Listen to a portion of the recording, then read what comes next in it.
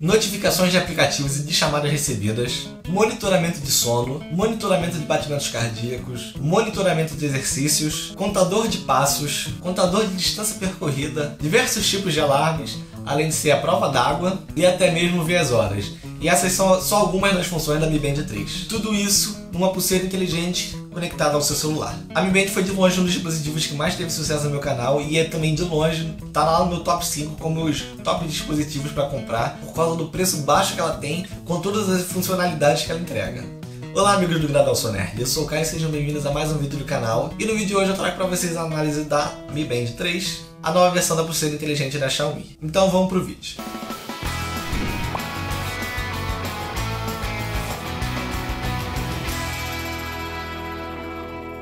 Antes de tudo, eu gostaria de pedir para vocês para se inscreverem no canal, caso não estejam inscritos, e clicar no sininho também para receber notificações de vídeos novos. Além também de que todos os links de compra para Mi Band eu vou deixar aqui na descrição, então clicando lá você vai direto para a loja e também me ajuda muito a manter o canal. Então, para começar, eu acho que tem duas possibilidades ali quando se trata da Mi Band 3, já que existem tantas pessoas que estão comprando pela primeira vez ou querem comprar pela primeira vez, quantas pessoas que já têm a Mi Band 2 e estão pensando se vale a pena trocar. E eu vou fazer aí no vídeo mostrando todas as diferenças da Mi Band 2 para a Mi Band 3, mas até o final do vídeo eu já vou tentar responder essa pergunta. E começando pela experiência de unboxing, é basicamente a mesma da versão anterior, vem uma caixinha, só que dessa vez transparente a parte de cima, Band 3 em si solta ali da pulseira. Ou seja, você pode comprar outras pulseiras e trocar, já que a Mi Band mesmo é só essa partezinha pequena, as pulseiras são removíveis. Além disso, ela também vem com cabo para carregamento que você pluga direto no USB, por exemplo, no seu computador. E por último, também tem um manual chinês que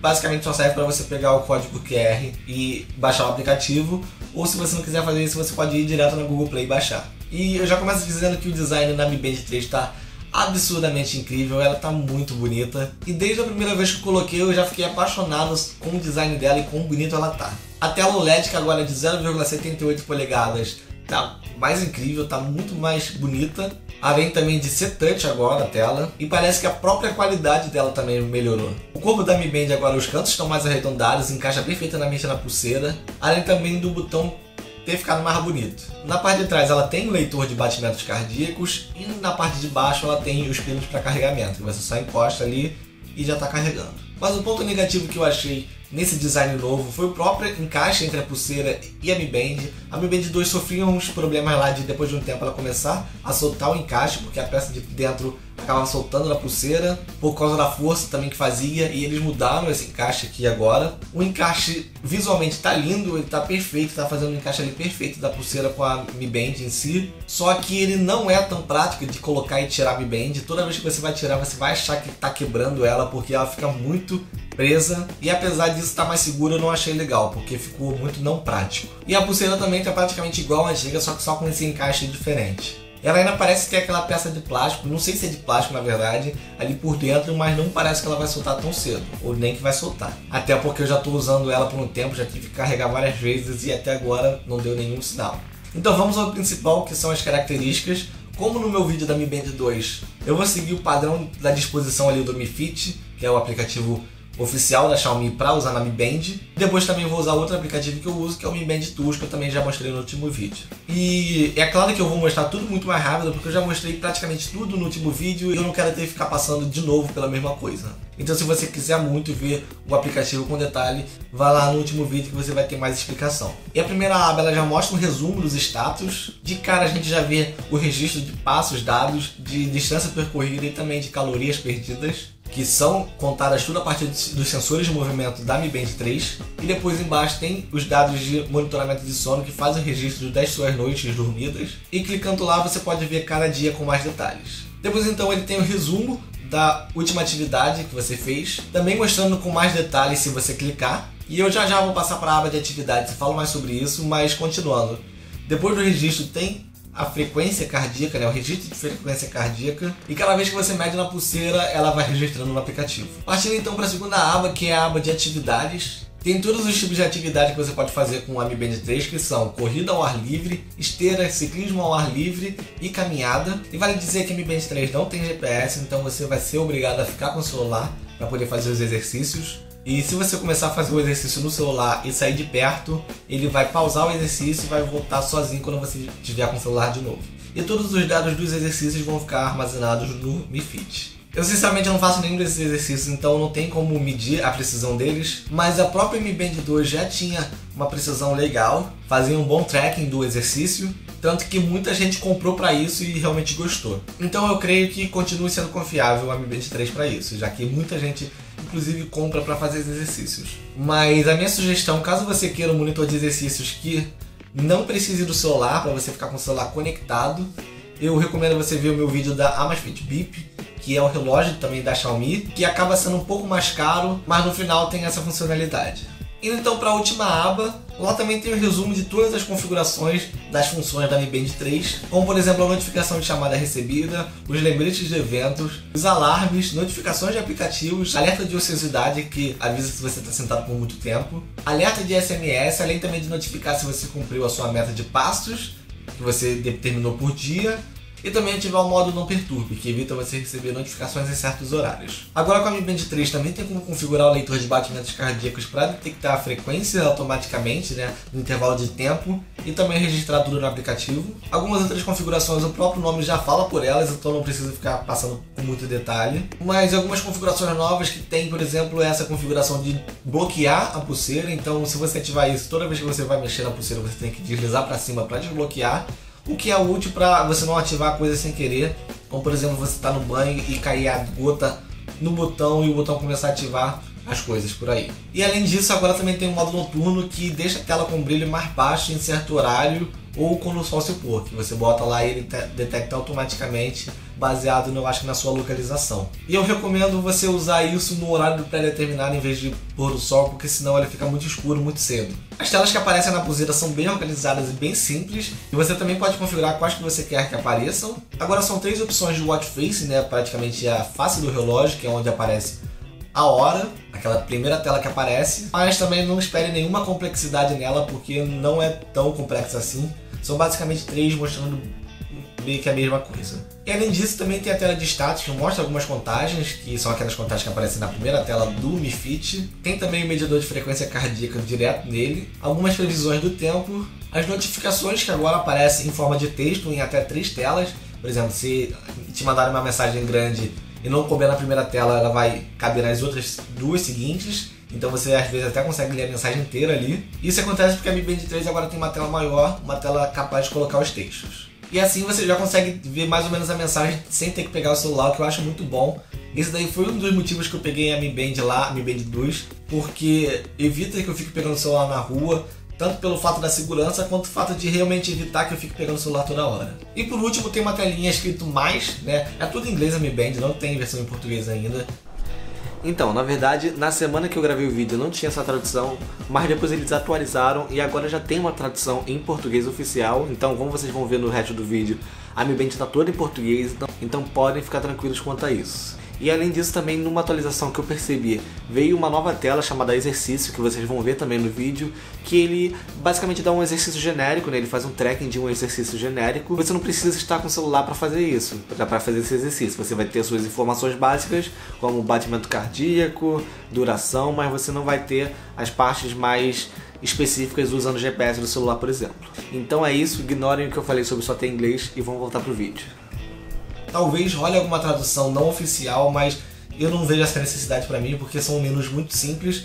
Mas enfim, tem uma telinha escrito mais que tem um cronômetro, o que eu gostei bastante porque é bem útil ter um cronômetro já direto na pulseira para você ativar a qualquer momento. Além disso, tem um comando que teoricamente serve para silenciar a Mi Band, para você não ter que que serve para você não ter que pegar no, no aplicativo e desativar tudo. Assim você silencia ela já direto nela mesma, só que para mim não funcionou. Sempre que eu tento ativar, ela diz que não conseguiu conectar e não funciona. Além disso, também tem um comando para achar o celular que toca um comando sonoro bem alto, que é esse aqui. E por último, tem a escolha da watch face. O que eu achei bacana de fato foi que agora o botão para a maioria dos menus você tem que segurar para poder selecionar. Se você segurar, você seleciona, se você apertar uma vez ele volta. E aí isso evita que você clique em alguma coisa sem querer. Além de adicionar uma função a mais, que é a função de voltar e de avançar. Antigamente na Mi Band 2 só tem a função de trocar com o botão principal. E como eu disse também, isso evita que fique adicionando as coisas sem querer quando você está no banho. E por falar em banho, em água, é, pode ficar tranquilo que a Mi Band aguenta até 50 metros de profundidade, então você não precisa tirar a Mi Band nem se você for nadar, por exemplo. A menos que você vá nadar a mais de 50 metros de profundidade. E vale também mencionar que o Mi Fit tem sincronização com o Google Fit direto lá do aplicativo. Você faz o login no Google Fit, então os dados vão sendo gravados nos dois aplicativos ao mesmo tempo. E do Mi Fit é basicamente isso, tem algumas outras opções pequenas, mas que é só ver o vídeo da Mi Band 2 se você quiser ver mais, só que não é nada demais mesmo. Mas eu não uso só ele, eu também uso o Mi Band Tools. Eu já expliquei porque duas vezes no vídeo da Mi Band 2 e da MyFitBip, porque o Mi Band Tools ele é pago, mas ele oferece mais funcionalidades para sua Mi Band, principalmente algumas que eu vou citar aqui. É claro que eu tenho que admitir que com algumas funções novas da Mi Band 3, é, algumas funções do Mi Band Tools ficaram um pouco. acabaram não sendo tão imbatíveis. Por exemplo, agora no Mi Fit tem como medir a frequência cardíaca a cada tantos minutos ou durante o sono, que é o que eu faço, para ter uma análise melhor. E isso era função exclusiva do Mi Band Tools, não tinha no Mi Fit antigamente, agora tem. Mas eu ainda acho um ótimo aplicativo para poder personalizar as notificações. Você pode mudar o tipo de texto que aparece, botar só o texto direto sem o nome da pessoa, botar o nome do aplicativo, tudo isso, mudar até a própria vibração que faz quando você recebe uma mensagem nova. E além disso, outras duas funções que eu acho imbatíveis no Mi Band Tools é a soneca e o alarme inteligente. Começando pela soneca, essa soneca você determina um tempo de 0 a 60 minutos para te acordar, porque isso é mais ou menos o suficiente para te acordar e você tirar uma soneca para descansar antes de você entrar no sono profundo. Que aí, se você entrar no sono profundo e acordar, não é tão bom. Você vai se sentir cansado. Acaba sendo um pouco prejudicial para o seu dia. E a outra função é o alarme inteligente, que é um alarme que você estabelece um horário, que é o horário limite que você diz que você quer acordar, e aí você bota um intervalo ali de horário para ele começar a analisar. E nesse intervalo de tempo estipulado, ele vai começar a analisar seu sono e fazer uns cálculos para te acordar na melhor hora. Porque assim ele vai ver quando você está no sono leve e tentar te acordar no último minuto do seu sono leve, antes que você entre no sono pesado de novo. Que aí você vai acordar melhor, é, também se sentindo melhor, vai acordar mais fácil e principalmente sem aquela música insuportável do celular que depois de três dias você está odiando. E além disso, que já existia, eu mostrei no outro vídeo, a Mi Band Tools tem algumas funções legais, como o fato de pegar frequência de batimentos cardíacos e transformar em gráficos, que é mais fácil de ver. E outra coisa que eu gosto muito e acaba corrigindo o problema da Mi Band 3 é o fato de você conseguir controlar as notificações, ativar ou desativar as notificações direto do menu de atalho do celular. Então, se você quer que pare as notificações, você não precisa lá no aplicativo desativar tudo, você simplesmente puxa a barrinha de notificações do celular e desativa ali. Além também de conseguir dar o play automático do leitor de batimentos cardíacos também por ali direto. Mas infelizmente nem tudo são flores e eu tenho uma crítica grande à Mi Band 3 que é sobre a bateria, porque tanto a Mi Band 2 quanto a Masfit Bip ele tem baterias que duram muito e são conhecidas por durar bastante, durando comigo cerca de duas semanas, tendo um uso grande, né? Porque eu uso notificações, uso alarmes, uso tudo isso sempre, em todas. Só que a Mi Band 3 não está aguentando mais do que uma semana. Chega ao final de uma semana e ela já acaba a bateria. Eu não acho essa duração tão grave, porque uma semana para mim ainda é o suficiente para ter um conforto na hora de usar, mas eu realmente esperava mais. E vale dizer que o uso que eu estou tendo é com todas as notificações e também com a frequência cardíaca ativada durante o sono. No geral, eu fiquei muito satisfeito com a Mi Band 3 ela é realmente uma evolução muito boa da Mi Band 2 e principalmente quando se trata de tela, já que agora a tela é maior, melhor, tem mais qualidade, além de ser touch e mostrar mais informações. E ela praticamente corrige as vantagens que a Mi Band 2 tinha, que era não ter uma tela tão completa. E se a pessoa não tem uma Mi Band e está querendo comprar pela primeira vez, está na dúvida se vale a pena, eu acho que vale totalmente a pena, porque é um produto realmente incrível pelo preço que é. Além de ser bonito, é, não é um produto só que tem utilidade, mas também tem a parte visual dele. E você pode comprar as pulseiras para trocar e ficar mais bonito ainda. E para quem tem já uma Mi Band 2 e tá na dúvida também se vale a pena trocar, eu acho que depende muito da sua necessidade. Se você está muito satisfeito com a Mi Band 2, está totalmente satisfeito, é, eu não acho que vale a pena gastar dinheiro à toa, mas se você sente que essas evoluções que tiveram na Mi Band 3, principalmente da tela, fariam diferença para o seu uso, é, eu acho que vale sim a pena trocar, principalmente se você conseguir vender a Mi Band 2 e aí complementar só o valor. Até porque não é só a evolução da tela, mas tudo, é, o fato do design ser mais bonito agora, ela já é um produto mais novo, então talvez vai receber mais atualizações, esse tipo de coisa. Então, nesse caso, eu acho que sim, vale a pena trocar. Então é isso, eu espero que vocês tenham gostado do vídeo. Se vocês gostaram, clica aqui embaixo no gostei, comenta aí embaixo também que vocês acharam. E como eu disse, todos os links de compra da Mi Band 3 vão estar aqui na descrição. Clicando ali, vocês vão direto para a loja para vocês comprarem. E vocês me ajudam muito também com isso. E se vocês não estão inscritos no canal, cliquem embaixo no se inscrever e clique no sininho para ativar as notificações sempre que sair um vídeo novo no canal. Além disso, o meu Instagram e outros links úteis vão estar aí embaixo. Eu posto bastante coisa legal no Instagram, então me segue lá. E eu acho que é isso. Eu vejo vocês na próxima. Fiquem bem e fui!